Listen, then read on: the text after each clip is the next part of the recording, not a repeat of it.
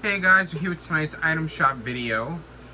Um, if I sound a little louder, I'm trying to talk over a fan I have on in my room. I don't know, sometimes it interferes with cameras, you never know. But we have the Incredibles still at the top here. We have Lady Gaga making a return. So that's very cool. We got a couple of her instruments, the rain check. I talked Locker Brother. I know he'll be happy to have this back in the shop. But pretty cool stuff with his.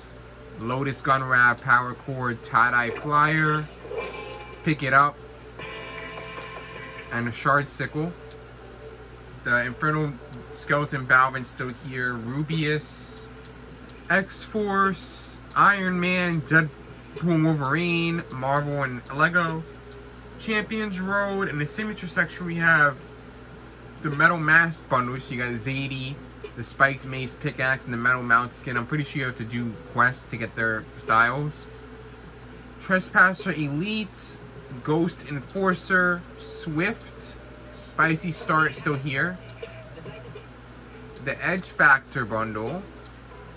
Jam Tracks, Instruments, Karol G, the Vehicles and Effects, the Crew, and then the Packs. So other than that, nothing extremely crazy tonight.